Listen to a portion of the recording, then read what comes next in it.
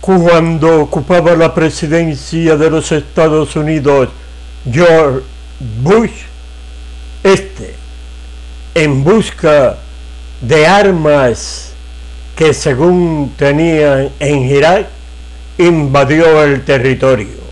Tuvo la cooperación de El Salvador, lo que dio lugar a que le dieran a los salvadoreños TPS, TPS.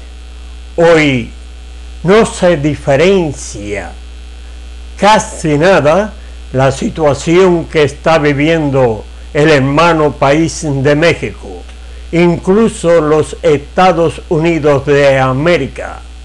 Ya el ejército norteamericano está preparado para, de ser derrotado el presidente actual, tomar acción en territorio mexicano.